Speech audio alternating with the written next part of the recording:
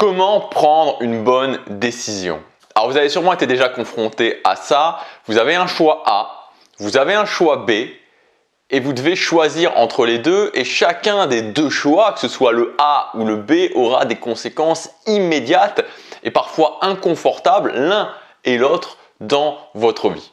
Et alors à ce moment-là, vous vous posez, vous dites OK, bon, OK, prenons les choses sereinement, je vais réfléchir, je vais me poser, je vais me dire OK, quel choix, quelle décision je prends Et là OK, vous vous dites bon, A ou B, A ou B, A ou B.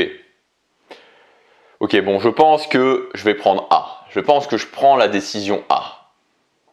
Et puis, ouais, mais quand même, B. B est quand même bien. Ouais, c'est vrai que B est pas mal. Alors je vais prendre B. Ok, c'est bon, je prends B. Ouais, mais si j'ai A, je vais avoir ça et ça et que j'aurai pas dans B. Et là, vous savez plus. Et vous tombez en fait dans cette spirale de plus savoir le A, oui, mais le B, oui, mais je sais plus A ou B, A ou B. Ça commence à me rendre fou. Et là, vous partez dans la spirale de l'indécision. Et le gros problème en fait de cette spirale qui rend fou, hein, ça rend fou, de l'indécision, c'est que ben, ça mène à quoi? Ça mène à l'immobilisme, ça mène à la non-action, ça mène au fait de dire ok, ben, je verrai plus tard, je vais prendre la décision plus tard. Et plus vous attendez, moins vous savez. Et moins vous savez, plus vous allez être dans l'immobilisme. Et l'immobilisme mène à l'échec, mène au fait de perdre. Quand vous tombez dans ce piège de l'indécision, vous avez perdu. Alors c'est dommage que ma mère soit pas là parce que sinon elle aurait pu le confirmer. J'étais un champion absolu, hors catégorie. Je pense que c'était là où j'étais le, meilleur. Euh, de l'indécision, voilà, je pouvais pas décider. Je pouvais pas décider, ok, euh, quel jeu vidéo je vais acheter. Je savais pas quel jeu vidéo je voulais acheter, celui-là ou celui-là, celui-là ou celui-là. J'y arrivais pas. Et toutes mes décisions, c'était une véritable torture parce que bah, j'étais incapable de décider. Je tombais systématiquement dans bah, ce trou noir, en fait. J'appelle vraiment ça un trou noir, le piège, le trou noir de l'indécision. Euh, vous savez, qui vous tape vraiment sur le système. Alors, je vous laisse imaginer parce que à la fin de mon adolescence, euh, le début de ma vingtaine, J'étais toujours aussi mauvais dans la prise de décision. C'était toujours, euh, voilà, chaque décision, quel film je vais aller voir au cinéma était voilà, était, une, extrêmement complexe pour moi. Et je vous laisse imaginer ce qui s'est passé quand je me suis retrouvé entre le choix A et le choix B. Le choix A, c'était de continuer mes études en droit qui se passaient bien, mais sur lesquelles je me sentais, enfin c'était confortable. Euh, j'étais dans une petite zone de confort, mais c'était pas du tout ce que je voulais. Je je me sentais complètement déconnecté. Et le choix B, euh, qui était de partir à 1000 km de chez moi face à l'inconfort pour quelque chose qui me tenait vraiment, vraiment à cœur. A ou B? et euh, voilà, et j'ai dû choisir, et j'étais pas capable de choisir si je voulais une pizza ou des pâtes au restaurant. Euh, je vous laisse imaginer dans quel état mental je me suis retrouvé à ce moment-là. Alors dans cette vidéo, je voudrais vous expliquer parce que maintenant j'en suis sorti.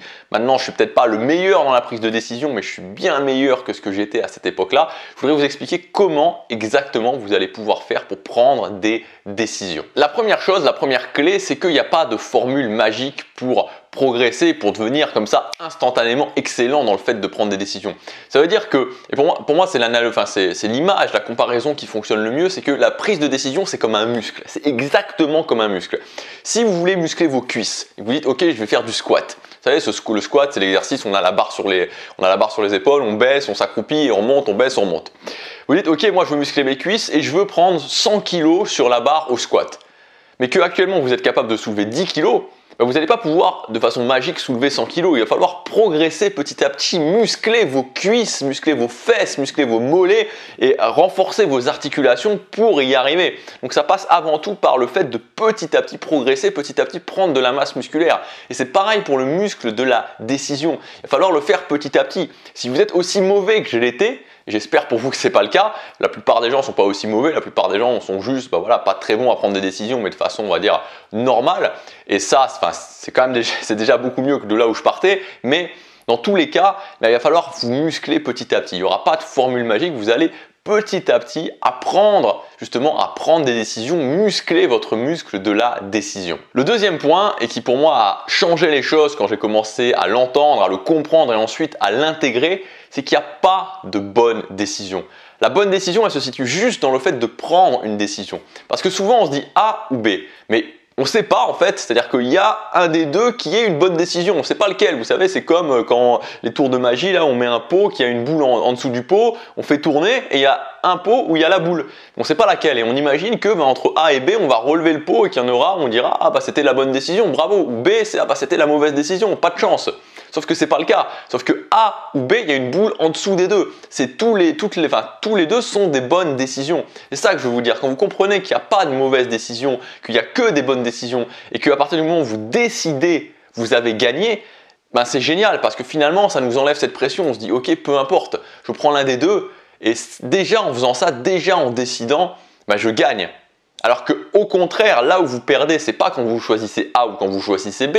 Quand vous, perdez quand vous choisissez pas, quand vous reculez, parce que plus on attend pour prendre une décision, et plus, et ça c'est valable dans quasiment tous les cas, le problème devient douloureux plus vous attendez, plus ce sera difficile de prendre la décision, plus le problème sera douloureux, plus ce sera, il y aura de plus en plus d'éléments à prendre en compte, d'éléments qui vont vous retenir et ce sera vraiment de plus en plus inconfortable. Donc je prends la décision, et rien que ça, prendre une bonne décision, c'est juste prendre une décision. Troisièmement, c'est de réfléchir à un moment donné, se dire qui est-ce que je veux être, qu'est-ce que je veux faire? Et donc, je sais bien que c'est facile à dire et pas forcément facile à faire sur le moment, mais en y pensant déjà, ça peut changer les choses et se dire ok, qui je veux être sur le long terme, qu'est-ce que je veux faire sur le long terme? Parce qu'on a cette tendance, et c'est pas que pour les prises de décision, c'est aussi voilà, j'ai pas envie d'agir, j'agis pas, euh, j'ai envie de manger euh, une pizza plutôt que de manger une salade, bah, je vais manger la pizza. Pourquoi? Parce que j'ai un plaisir immédiat à le faire. J'ai un plaisir immédiat, j'ai ma dose de plaisir immédiate.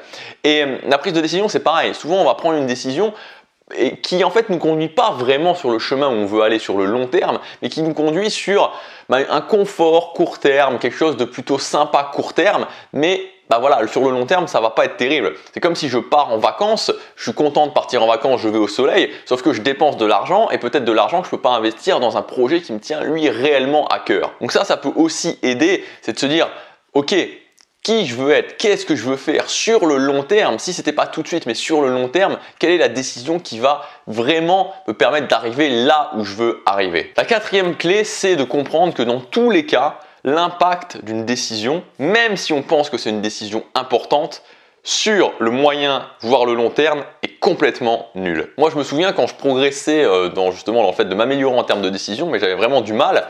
Euh, il y a une décision particulière qui m'a marqué, en fait, je ne sais pas pourquoi, mais ça m'a marqué. C'était un été et je devais choisir entre le fait d'aller euh, voyager au soleil, je crois que c'était au Maroc, c'était au Maroc même, c'est même sûr c'était au Maroc, entre aller au Maroc ou aller faire un city trip. Et je me disais, ok, est-ce que je vais au Maroc ou est-ce que je vais faire un city trip? Est-ce que je vais au Maroc ou est-ce que je vais faire un city trip? Et pendant genre deux semaines, je me suis posé la question, posé la question, posé la question. Et maintenant, quand j'y pense, je me dis, mais c'est quoi l'impact dans ma vie? C'est quoi l'impact que cette décision que j'ai prise Je crois que c'était il, y a, a 6 ans ou 7 ans, quelque chose comme ça. 6 ans ou 7 ans, c'est quoi l'impact aujourd'hui dans ma vie? Il n'y en a aucun. Il n'y en a aucun. Et en fait, ben, finalement, dans la plupart des décisions, quand on se retourne vers l'arrière, on se dit que ben, l'impact réel de la décision, ben, il est nul soit il est nul, soit finalement il y a eu tellement de possibilités de prendre d'action derrière qu'en fait ben, il se retrouve lui aussi nul. Donc les choses, on se disait ok, si je prends ça, ma vie s'arrête, et si je prends ça, ma vie s'arrête, on a l'impression, vous savez, d'être devant une sorte de trou à un moment donné qu'on choisisse A ou B, on va avoir plein de problèmes et notre vie est terminée. En fait c'est faux, en fait c'est juste faux. Et euh, de se rendre compte que peu importe la décision qu'on prend sur un an, deux ans, trois ans, quatre ans, cinq ans, l'impact il est très très faible, voire nul. Ben, de faire ça, ça permet de se soulager, de se dire ok, ben, je prends l'un ou l'autre, de toute façon, ben, ça va rien fondamentalement changer. Tout de suite, maintenant, oui, il y aura un impact, mais cet impact va se diluer énormément avec le temps. Cinquièmement, pour être très concret, je vais vous donner moi ma méthode maintenant de prise de décision. Alors, ce que je fais, c'est que j'ai une liste de décisions. C'est ce que je fais en fait, parce que typiquement, vous savez, c'est ça, c'est la décision qui arrive pendant la journée. Alors, je suis là, je suis en train de travailler, je suis en train de faire les trucs que j'ai à faire, et puis bam, il y a la décision qui pop dans ma tête. Je dois faire ça ou je dois faire ça.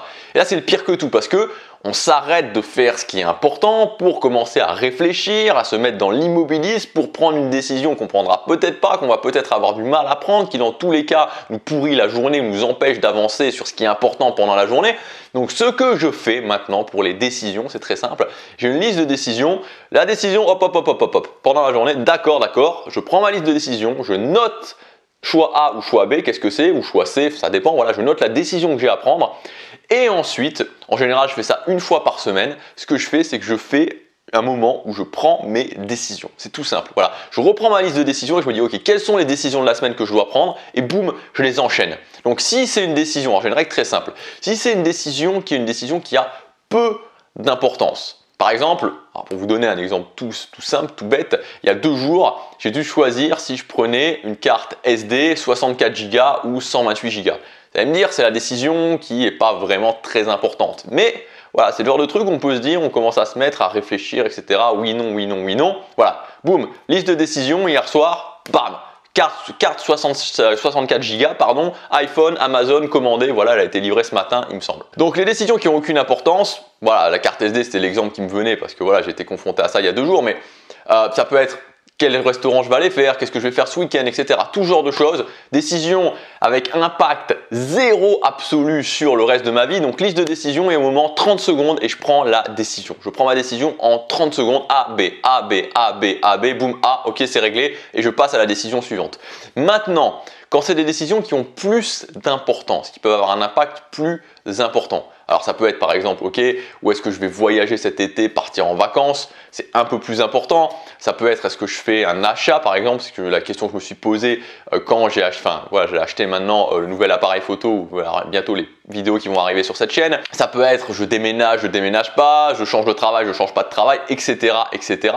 Toutes ces décisions qui ont de l'importance jusqu'à beaucoup d'importance, à ce moment-là, je me donne 5 minutes. Alors ça peut paraître trash de se donner 5 minutes, mais il y a une chose qu'il faut comprendre, c'est que le temps est votre ennemi. Dans la prise de décision, le temps est votre ennemi. Vous savez, euh, il y, a quelque chose qui, qui est très parallèle, c'est pour les peurs. Le temps nourrit la peur. Le temps nourrit la peur. Plus j'ai de temps, plus ma peur va potentiellement grandir. Alors je sais que j'ai ce truc que je veux pas faire. Je sais par exemple j'ai cette personne que je veux pas faire ou qui me fait peur. J'ai cette personne à aller aborder. Je dois aller lui demander quelque chose. Boum, j'y vais. La peur, elle n'a pas eu le temps de grandir. Si je commence à me dire, est-ce que j'y vais, est-ce que j'y vais pas, qu'est-ce que je vais lui dire, qu'est-ce qu'elle va penser, etc. Une minute, deux minutes, trois minutes, bah, bah, bah, il y a la peur qui commence à grandir et du coup on n'y va pas. Et pour la prise de décision, c'est la même chose. On a tendance à penser, à tort, que si on ajoute du temps, on va avoir plus d'éléments, de comparaison, ce genre de choses, pour pouvoir prendre la bonne décision. Tout ça, ça n'existe pas. Il n'y a pas de bonne décision comme on l'a vu, et le temps ne va rien arranger. Donc 5 minutes, c'est largement suffisant pour prendre une décision, même une décision qui a de l'importance. Vous pouvez y passer 200 ans, vous n'aurez pas plus d'éléments. Souvent, quand on comprend qu'il n'y a pas de bonne décision et qu'on comprend que de toute façon, on va pouvoir de toute façon arranger les choses, voilà, on se soulage de ça et ok, ce qui compte avant tout, c'est que je prenne une décision. Donc 30 secondes pour les décisions qui ont très peu d'importance, quand c'est un peu d'importance jusqu'à beaucoup d'importance, 5 minutes, la liste de décisions, vous enchaînez, vous allez voir, ça va vous changer la vie. Et le dernier point justement que, dont je voulais vous parler, et euh, bah, j'en ai un tout petit peu parlé juste avant, c'était que n'oubliez pas que dans tous les cas, vous avez le contrôle, vous avez le contrôle parce que vous avez le contrôle sur vos actions. Donc même si, même si, imaginons, prenez une décision et vous imaginez, parce qu'on ne le sait jamais en fait, que c'était une mauvaise décision et que vous le regrettez, bah c'est pas grave. Vous avez le contrôle de vos actions. Premièrement, vous ne savez pas si finalement ça va pas vous mener à quelque chose de vraiment très bien. Et vous avez le contrôle de vos actions. Donc vous allez pouvoir avancer et rectifier dans tous les cas la situation. Alors je sais que ça peut être difficile. J'aime pas ce mot difficile, mais je sais que ça peut on peut être investi émotionnellement, je le sais, croyez-moi, je sais, on peut se retrouver dans une sorte de, bruit mental, de trou noir mental où on a, on a des sensations qui sont complètement délirantes par rapport à la réalité en fait. Redescendez la pression, il n'y a pas de bonne décision et surtout, n'oubliez pas que le plus important c'est d'être dans le mouvement. Tant que vous prenez une décision, vous êtes dans le mouvement, vous ne pouvez pas beaucoup vous tromper, vous pourrez rectifier la situation et surtout vous avancer. Le plus dangereux, c'est la non-décision, le report, penser qu'avec le temps ça ira mieux, se mettre dans l'immobilisme et là, les choses ne vont jamais, jamais mieux. Prenez une décision, prenez-la rapidement, vous verrez que tout ira bien. Je vous dis à demain, passez à l'action, chaque jour compte.